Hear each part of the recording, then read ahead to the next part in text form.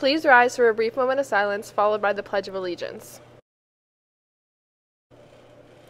I pledge allegiance to the flag of the United States of America and to the republic for which it stands, one nation, under God, indivisible, with liberty and justice for all.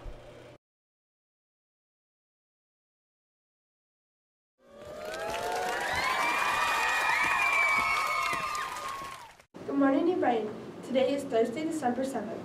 Tomorrow for Spirit Week, wear your Santa hat. Attention students attending the ice skating field trip with Mr. Campbell and Miss Lewis. There has been a change in due dates. Please have your money and form signed today. Club pictures will be on Friday, December 8th, beginning at 7.30 a.m. Students should, should please check the schedule hanging in the locker area for your scheduled time. When your club is called, please report to the new gym immediately. We do not have time in the schedule to wait for students. Students will return to class and not hang out in the gym between pictures.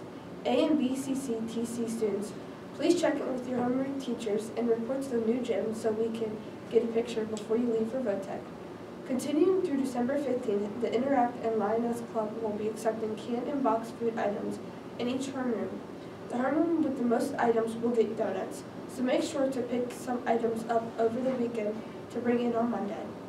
Seniors, if you did not order a cap and gown ready, please make sure to do so as soon as possible. Order forms are available in the guidance office. Seniors, if you are submitting a senior photo for the yearbook, they are due by December 8th. You or your photographer can email the picture to yearbook at nbsd.org. If you are sending the photo, please be sure that it's the original photo and not a screenshot of the photo. If you plan to get professional pictures taken and have not made an appointment yet, you are behind. Make an appointment now so you meet the December 8th deadline. If you do not submit a senior photo, we will use the picture that photography that photography by James took in September in the senior section of the yearbook.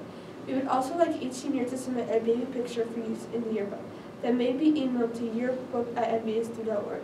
If you have the actual photo and not an electronic copy, Mr. Nuss can scan the photo and return it to you. Your English teachers will be handing out senior biography forms. Please complete the form and return to any yearbook staff member, Mr. Nuss, or put in the envelope outside of Mr. Nuss' door in the North Commons.